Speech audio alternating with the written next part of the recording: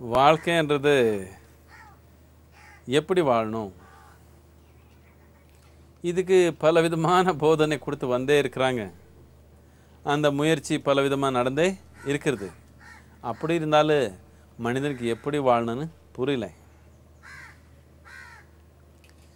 இது எதனால் இப்படி இருக்குதுன்னா நீங்கள் ஒரு விலங்கு பார்த்தீங்கன்னா அவருடைய தன்மை இயற்கை நிர்ணயித்து வச்சிருக்குது. அவர் இப்படி தான் வாழ முடியும் என்ற ஒரு நிர்ணயிக்கப்பட்டிருக்குது. ஆனால் மனிதனுக்கு இயற்கை நீங்கள் எப்படி வேணாலும் இருக்க முடியும் என்ற ஒரு வாய்ப்பு கொடுத்துருக்குது. ஒரு சுதந்திரம் இருக்குது. இப்போ இந்த ஒரு சுதந்திரம் தான் மனிதனை ஒரு பெரிய போராட்டமாக பண்ணி வச்சிருக்கிறான். நீங்கள் உங்கள் கட்டுப்பாடு வச்சு பாதிப்பு பட்டால் அதுக்கு ஏதோ ஒரு அர்த்தம் இருக்குது. ஆனால் இப்போது உங்கள் சுதந்திரத்தினாலே உங்களுக்கு பாதிப்பு வந்திருக்குது. உங்கள் பாதிப்புக்கு என்ன அடிப்படை என்ன? உங்கள் வாழ்க்கை ஒரு மிருகத்து வாழ்க்கை மாதிரி நிர்ணயிக்கப்படலை. நீங்கள் எப்படி வேணாலும் இருக்க முடியும். இந்த க்ஷணத்தில் இப்படி இருக்கிறீங்க அடுத்த க்ஷணத்தில் இன்னொரு விதமாக இருக்க முடியும். இந்த வாய்ப்பு உங்களுக்கு இருக்குது. இதே ஒரு பெரிய போராட்டம் ஆயிடுச்சு. இந்த சுதந்திரமே ஒரு வரப்பிரசாதமாக இல்லாமல் ஒரு சாபமாக உணர்ந்து வந்திருக்கிறீங்க. உங்கள் சுதந்திரமே நீங்கள் ஒரு சாபமாக உணர்ந்தா இது ரொம்ப முற்றளத்தனம் தானே? ஆனால் இப்போ சூழ்நிலை அப்படி தான் இருக்குது. இப்போ ஒரு புலி பிறந்ததுன்னு வச்சுக்கோங்க. இந்த ஒரு புலி பிறந்தா இந்த புலி மனத்தில் நான் எப்படி ஒரு நல்ல புலியாக வளருது? அன்னு ஒரு கவலை கிடையாது. அந்த சிந்தனை கிடையாது. தேவையான சாப்பாடு பிடிச்சா போகுது எப்படி இருந்தாலும் ஒரு நல்ல புலியாக தான் வளரப்போகுது. அவருக்கு நான் புலியாக போகிறேன்னா இல்லை பூனி பூனியாக போயிடுவேனான்னு ஒரு கவலை கிடையாது. ஆனால் நீங்கள் மனிதனாக பிறந்தாலே ஒரு நல்ல மனிதனாக வளரணுன்னா எவ்வளோ போராட்டம் பாருங்கள் இவ்வளோ போராடினாலே இப்போ கூட உங்கள் தன்மை எப்படி இருக்குதுன்னு உங்களுக்கு தெரியல. இன்னொருத்தருக்கு ஒப்பிட்டு பார்த்து அவருக்கு ஒப்பிட்டு பார்த்தா நானே மேலே நீங்கள் நினச்சிக்கலாம். ஆனால் நீங்கள் நீங்காவே பார்த்தா நீங்கள் எங்கே இருக்கிறீங்கன்னு உங்களுக்கு இப்போ கூட புரியல.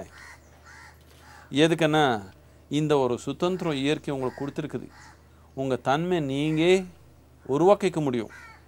இந்த ஒரு சுதந்திரம் உங்களுக்கு இருக்கிறதுனால இதுதான் நீங்கள் ரொம்ப பாதிப்பாக இப்போ உணர்ந்து போயிருக்கிறீங்க. எப்படி வாழணும் எப்படி வாழணும்? எப்படி வாழணும்? இது வேண்டாம். எதுக்குன்னா முதல்ல எதுக்காக வாழ்கிறீங்கன்னு கொஞ்சம் அடிப்படையாக பார்த்துடலாம். நீங்கள் செய்கிற பிரதி ஒரு செயல் நீங்கள் பணத்தை பின்னாடி ஓடிருந்தால் சரி இல்லை அறிவு பின்னாடி ஓடிருந்தால் சரி அன்பு பின்னாடி ஓடிருந்தால் சரி இல்லை இன்பங்கள் பின்னாடி ஓடிருந்தால் சரி இல்லை கடவுள் பின்னாடி ஓடிருந்தால் சரி எதுக்காக இது எல்லாமே பண்ணுறீங்க ஏதோ இன்னும் கொஞ்சம் பணம் கிடைச்சா சந்தோஷமாக இருக்கும்னு ஒருத்தர் நினச்சிக்கிறாங்க. இன்னொருத்தர் அறிவு கிடைச்சா சந்தோஷமாக இருக்கும்னு நினைக்கிற நினைக்கிறாங்க. இன்னொருத்தர் கடவுள் பார்த்தா சந்தோஷமாக இருக்கும்னு நினைக்கிறாங்க. இன்னொருத்தர் இந்த உலகத்தில் சந்தோஷமாக இருக்கவே முடியாது. ஸ்வர்க்கத்துக்கு போனால் தான் சந்தோஷமாக இருக்க முடியும்னு அவரும் முடிவு எடுத்துட்டாங்க. நீங்கள் எது பின்னாடி போயிருந்தாலும் சரி சாப்பாடு பின்னாடி ஓடினாலும் சரி கடவுள் பின்னாடி ஓடினாலும் சரி அடிப்படையாக சந்தோஷத்து பின்னாடி தான் ஓடி இருக்கிறீங்க.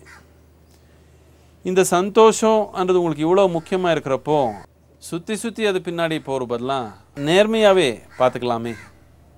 உங்களுக்கு சந்தோஷம் வேணும். உங்களுக்கு பணத்தை தேவையில்லை நீங்கள் ஓடி இருக்கிறது பணத்து பின்னாடி இல்லை. அன்பு பின்னாடி இல்லை. கடவுள் பின்னாடி இல்லை. எப்படியோ ஆனந்தமாக இருக்கணுன்ற ஒரு ஆர்வம் உங்கள் உயிர்நிலையிலேயே இருக்குது. இது இன்னொருத்தர் சொல்லி கொடுத்த தன்மை இல்லை. இந்த உயிரே ஆனந்தமாக இருக்கணும்னு எப்பவுமே ஏங்கியிருக்குது. இப்போது அதுதான் நாம் இப்போது அடிப்படையாக பார்க்கணும். எப்படி இந்த இருபத்தி நாலு மணி நேரத்தில் ஒரு ஒரு க்ஷணமும் நான் என்னுடைய தன்மை ஆனந்தமாக வச்சுக்கிறதே நீங்கள் பார்த்துட்டிங்கன்னா அதுக்கு தேவையான உதவி கருவி உங்களுக்குள்ளே உருவாக்கிட்டிங்கன்னா மித்தது எல்லாமே உங்களுக்கு திறமைக்கு அனுசாரமாக என்ன நடக்கணுமோ தானாகவே நடக்கும். ஒரு மனிதனுடைய திறமைன்றதை எடுத்து பார்த்தீங்கன்னா ஒரு மனிதனுக்கு இருக்கிற திறமை இன்னொரு மனிதனுக்கு இருக்காது. ஒரே மாதிரி ரெண்டு மனிதர் இல்லை. எது நீங்கள் ரொம்ப சுலபமாக செய்ய முடியுமோ இன்னொருத்தர் கஷ்டப்படுறாங்க. அவர் இது ரொம்ப சுலபமாக செய்ய முடியுமோ அது நான் அது உங்களால் முடியவே முடியாது. இப்படி தான் சூழ்நிலை இருக்குது. இதனால் என்ன செய்யணுன்றது நீங்கள் சிந்திச்ச ஒன்றும் பிரயோஜனம் இல்லை. என்னத்துக்குன்னா நீங்கள் என்ன செய்யணும்னு சிந்திச்சிட்டிங்கன்னா சமூகத்தில் பார்த்து பத்து பேர் செய்கிறது தான் நீங்கள் பண்ண போகிறீங்க நீங்கள் ஆனந்தமாக இருக்கிறது எப்படி புரிஞ்சுட்டிங்கன்னா உங்கள் திறமைன்றது தானாகவே முழுமையாக வெளியே பாடும்.